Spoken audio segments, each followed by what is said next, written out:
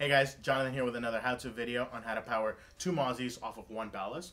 We're going to come over to our ballast, our 400 watt power supply here, plug in our Y splitter, and turn it on where she's naturally in two channels.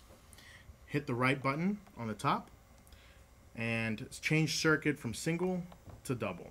Then just hit next, next, next, done, and then voila. You have your four channels that you can control manually or via DMX. And it's as simple as that. Now let's go out there and let's roll.